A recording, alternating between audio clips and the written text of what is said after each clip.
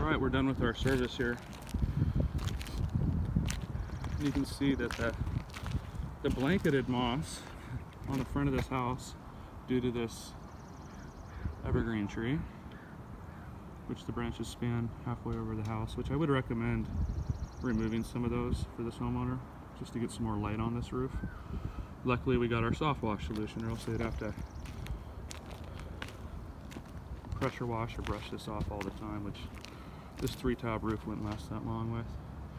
You can see how the moss is just 100% dead with our solution and we didn't use a pressure washer, we didn't burn any gas. So it's uses a, uses a soft wash solution, it's sodium hypochlorite. It's a biodegradable ingredient.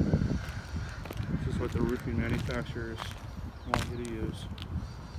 See how effective it is. All the black mildew is gone instantly, and then the moss just turns to a white color.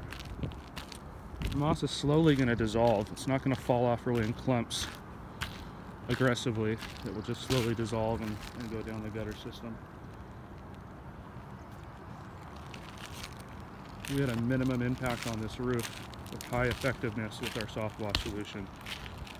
This is a rental home and we're looking out for the interest of our client who owns multiple properties and rather than re-roofing all the time it's if you wait this long and leave this much moss on your roof this is a way to at least protect your investment and and know that there's not an aggressive cleaning happening that's gonna you know make it look really good but for one the moss will just grow back because nothing's dead. There's still a micro layer left behind with any other method there's out there. Zinc sulfate's really bad for the environment. We're pretty close to the water here. We're in shoreline washington near seattle. So we don't want all that zinc going into the puget sound. I'm a fisherman. So this method I feel good about. I feel it's a sustainable product that provides value and has a minimal impact on the environment. So we have about five vans that go out every day and spray this solution on roofs and noticed a,